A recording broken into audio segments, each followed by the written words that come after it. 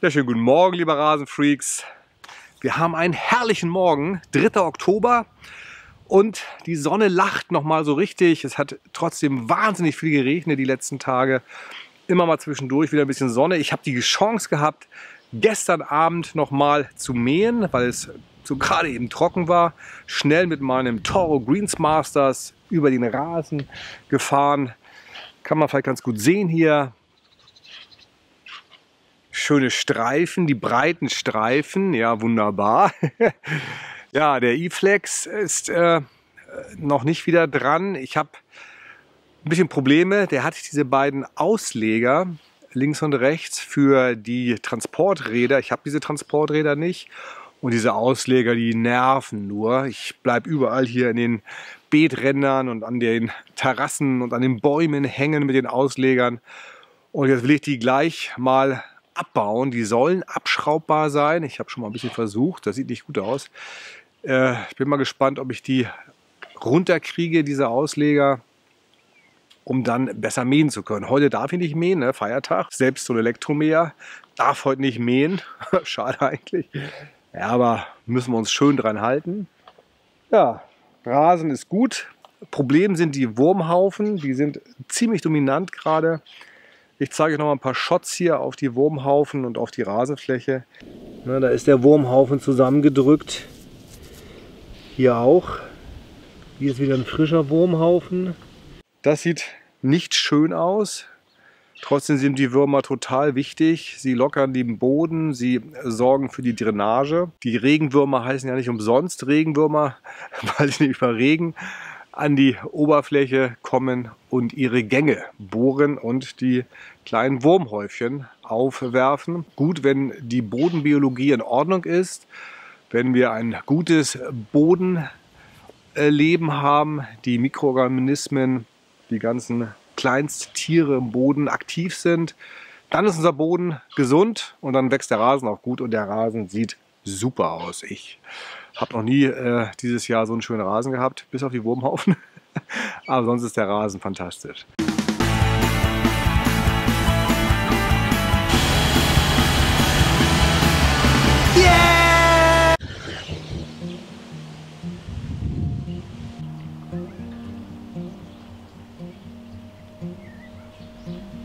Ja, das sind natürlich jetzt hier die ganzen Letterlies.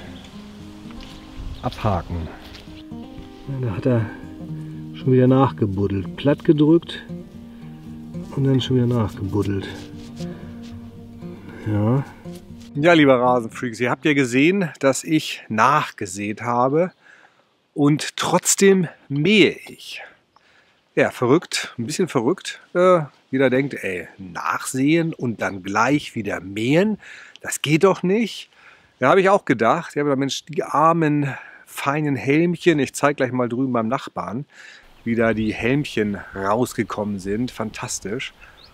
Und das ist bei mir genau das Gleiche. Ich habe einen Tag vorher gesät, er hat einen Tag später gesät. Das heißt, im Grunde genommen haben wir den gleichen Zustand, was jetzt die Nachsaat angeht.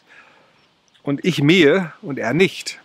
Es ist auch richtig, bei der Neuansaat, wenn man die Fläche komplett neu angesät hat, ist es sinnvoll, nicht zu mähen und zu warten, bis die Halme 6 bis 10 cm rausgewachsen sind aus dem Boden. Bei einer Nachsaat auf einer bestehenden Rasenfläche kann man weiter mähen. Ich habe mich informiert bei den Profis, bei den Greenkeepern.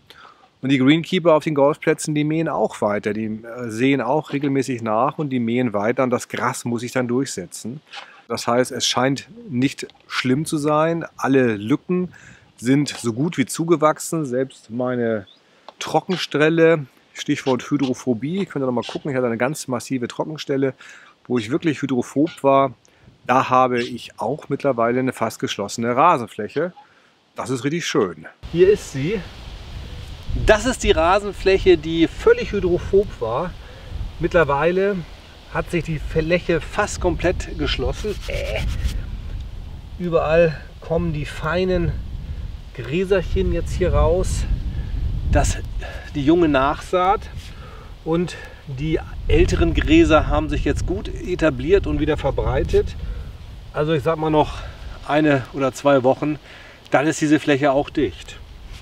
Cool. Ja, liebe Rasenfreaks, jetzt sind wir wieder in meiner Werkstatt drin. Es gibt wieder Werkstattvideos. Die Werkbank ist total vollgestellt.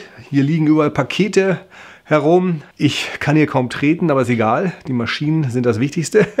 Die Autos müssen draußen bleiben. Wir schwenken mal kurz einmal hier rum. Absoluter Wahnsinn. Ist nicht wahr, ne? Ist echt nicht wahr. Was mache ich bloß mit den ganzen Geräten? Ja, also den John Deere will ich verkaufen. Ihr könnt ja noch mal bei eBay gucken, eBay Kleinanzeigen, da steht mein John Deere drin. Der muss jetzt hier mal irgendwann weg und der Rest muss hier bleiben. Und den E-Flex, den will ich hier heute auseinandernehmen.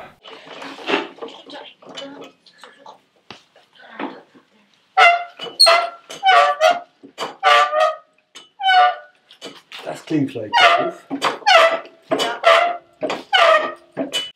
erstmal den, den Checker machen.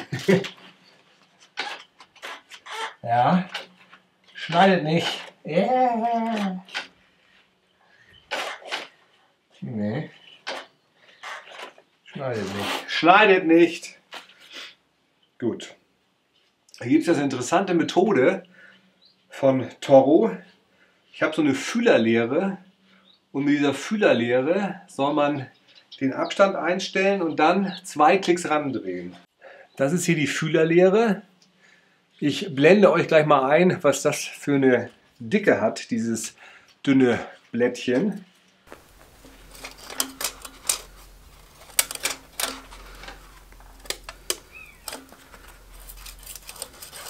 Genau. Da ist sie gut. Also sie ist wirklich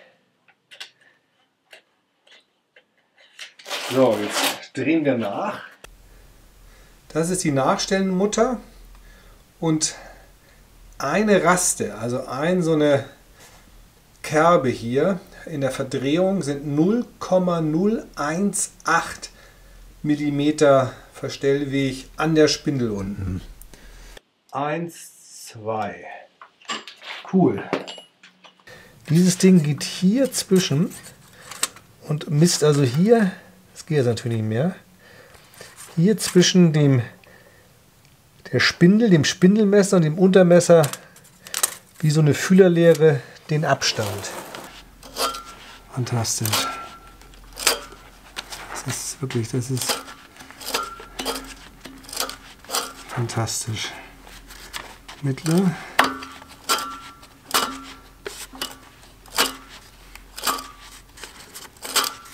Wunderbar.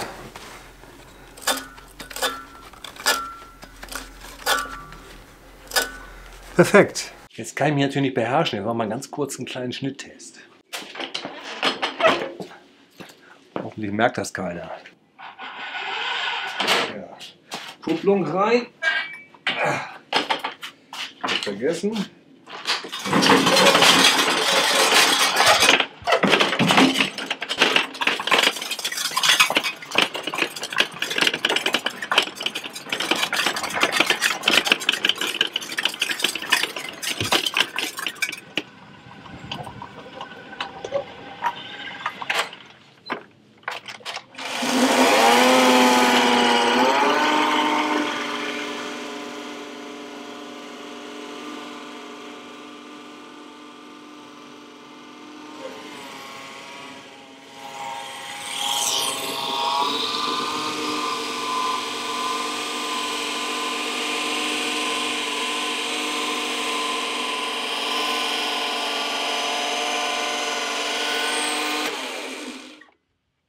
Sauber.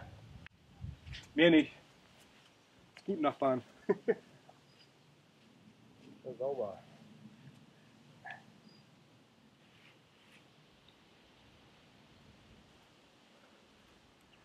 Oh, ich, ich, ich könnte schon wieder weiter mähen. Ich darf nicht. Ich darf nicht. Sieht er aus? Ja. Schön, schön. Das ganze Papier hier. wieder rausgekalbt.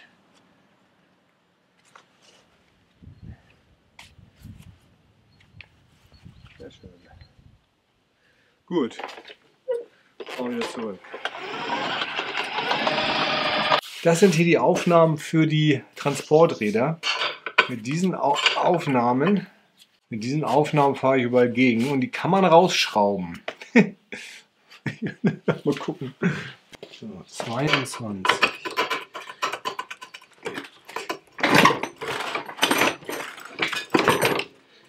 Ich weiß nicht, wie das gehen soll, ey.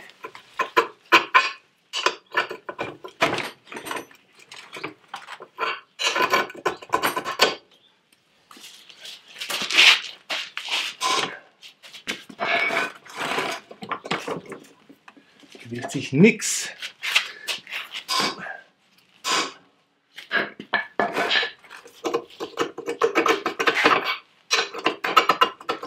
Versuchen Sie jetzt mit Hitze. Dazu baue ich den erstmal ab hier, sonst mache ich den ganzen Lack kaputt.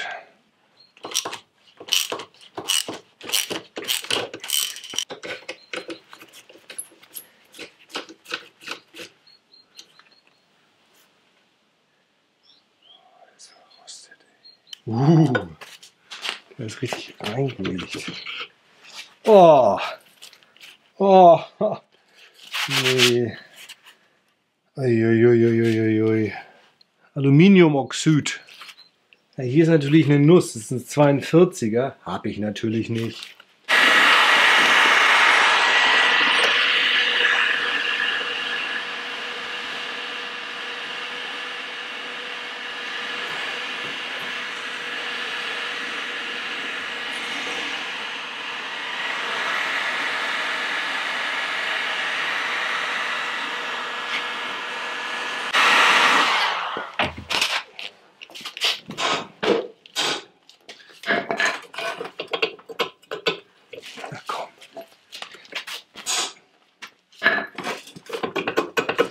Nix.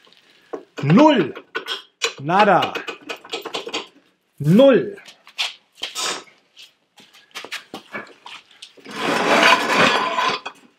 Nicht einen Millimeter. 42er Nuss. Und dann gegenhalten. Schade. Nicht zu machen. Ach ja. Schade. Tja, Freaks. Fail. Nicht zu machen. Ja, ich baue wieder alles zusammen. Danke fürs Zuschauen. Tschüss.